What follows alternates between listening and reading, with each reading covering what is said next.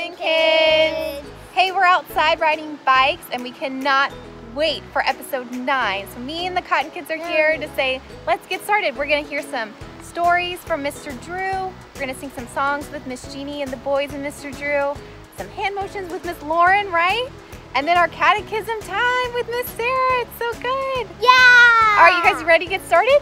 Yeah. Yeah, let's get started. Let's go. Hey. Hey, welcome to Catechism Time with. Oh, I forgot something. Just a second. Wow, that's embarrassing. I forgot my hair. Oh, the mosquitoes are biting. Those mean mosquitoes. Okay. Now we're ready.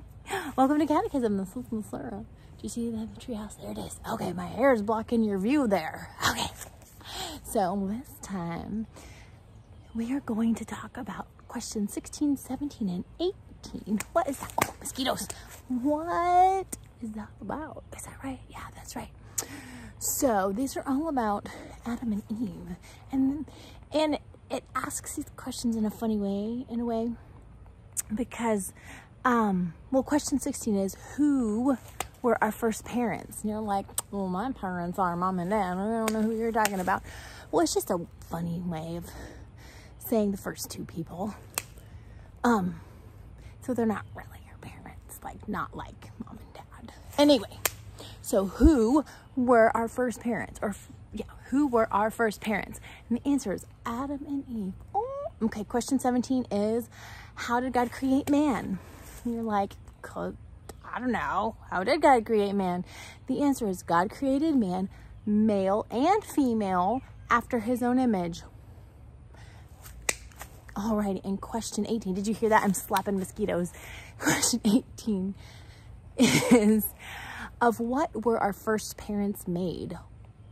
That's a funny question. And it's hard to say. Of what were our first parents made? And the answer is God made Adam's body out of the ground. I'm looking at the ground, out of the ground. And Eve's body out of a rib from Adam. Have you ever eaten ribs, like some pork ribs and some beef ribs, and there's that bone? That's a rib. So just for point of reference. So of what were our first parents made? God made Adam's body out of the ground and Eve's body out of a rib from Adam. Boom! There you go. That's question 16, 17, 18. Meet me in the treehouse. We're gonna do some dancing. Or should we dance here? No, mosquitoes are killing me. We're gonna move for our for to do the song. You'll be awesome. I made it up the stairs. Okay, remember questions 16, 17, and 18. Let's see if I have us queued up right. Let's see if I get tongue twisted. I don't think that's the right spot. Oh, first parents, Adam and Eve. How did God create them? God created man and him female after his own image. What were our first parents made? God created body out of the ground and Eve's body out of a rib from Adam.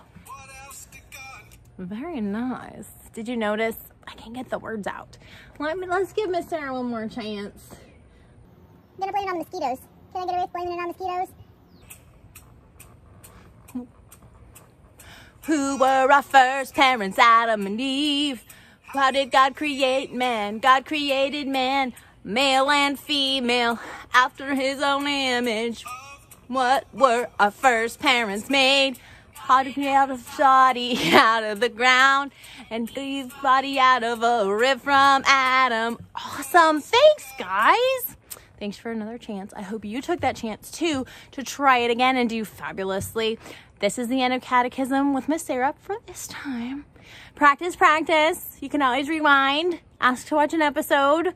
I bet you your parents might say yes, you know, like if you've maxed out your screen time, but you're like, oh, but I need to practice my catechism, maybe my scripture memory song. You gotta let me watch that Haven Kids at Home stuff. Love you guys. Bye. Mwah. Hi, Haven Kids! Hi, Haven Kids! Hi, Haven Kids. From my, our dinosaur family to yours.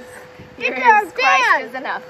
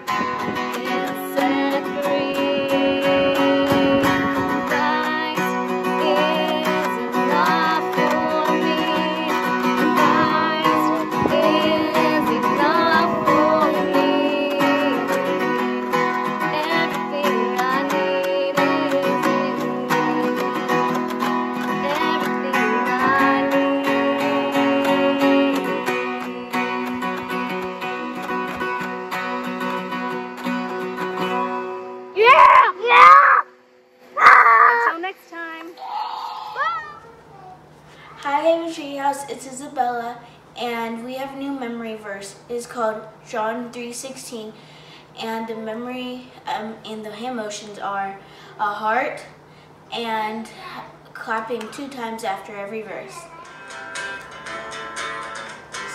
God loved the world so much that he gave his only son. God loved the world so much that he gave his only son. God loved the world so much that he gave his only son. God loved the world so much that he gave his only son. John 3.16. There you go. Bye, guys.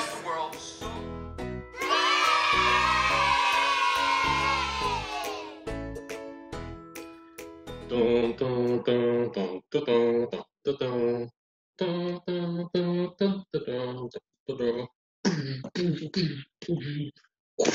Ah.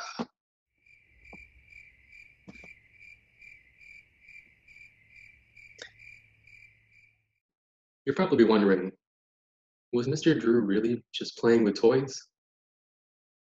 No, I was not. You know, this reminds me of a story. And it's a story about God's amazing plan and how to break down big, cold stone walls. If you have your Bible, go ahead and turn with me to the sixth book of the Bible. That's right, we're in Joshua.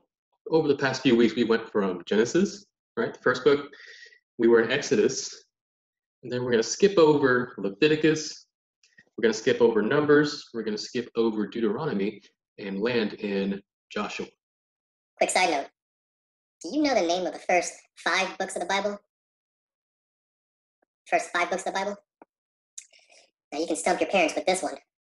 But the first five books of the Bible are called the Pentateuch. Say it. Pentateuch. Pentateuch. It's a cool word, right? Well, here we are in Joshua. Can you guess what the book of Joshua is about? Or more importantly, who the book of Joshua is about? It's about God. Ha, I tricked you.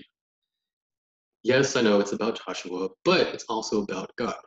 Before we dive into our story of Joshua, let's talk about last week's story. What happened? Do y'all remember? Well, we talked about Moses, we talked about the Hebrews, and remember how God gave them good food and good water while they were camping out in the wilderness? Well, God used this time to teach the Hebrews that He was capable of doing amazing things. That He was a good God and He could be trusted with their lives. But guess what?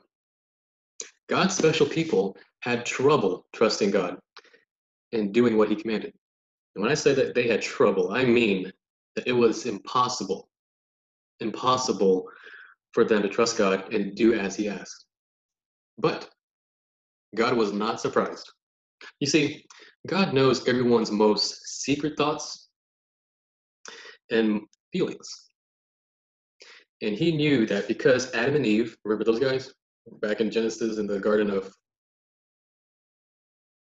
Eden, Garden of Eden. So Adam and Eve, He knew that because Adam and Eve disobeyed Him, that every human after them couldn't obey God on their own. It was as though their thoughts and their feelings and their entire being were stuck behind giant stone walls. They couldn't get out. And that was the one thing that they needed the most. And God needed to teach his special people that the only way they could love and trust him was if God would tear down the giant cold stone walls around their hearts. So God led the people in the wilderness for 40 years, provided for them every single day. And God told them that when their children grew up, that he had a special place for them and that he would be their king. So after 40 years of camping, Four years. That's that's a lot of s'mores. That's a lot of s'mores. So after 40 years of camping, the people who saw God rescue them from Pharaoh, they got old and died. Moses, who led the people, he got old and died. But before that, Moses appointed someone else to take his place, to lead the people. And that new leader was Joshua. And the one thing the Bible says about Joshua is that he loved God. And God told Joshua and the Hebrews that they were going to go into a land that he had promised. And their first step was that they would defeat a whole city. And this whole city was fortified by giant walls.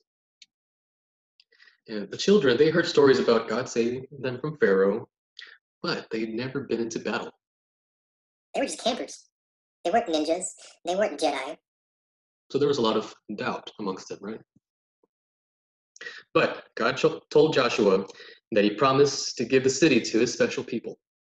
God could easily have smashed the city to bits by his own will, but God still wanted to teach the people to trust him. God told Joshua that he and the Hebrews were going to defeat the city of Jericho. So that was the name of the city, Jericho. And they were going to defeat Jericho in a very odd way. Not with swords, uh, not with lightsabers. Can't go into battle without lightsabers. They were going to defeat the city of Jericho with shouts and trumpet blasts. You know, trumpet like the yeah. Joshua trusted God.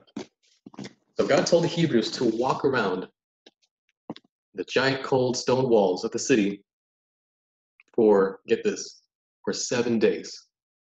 They were going to do laps around the city for seven days.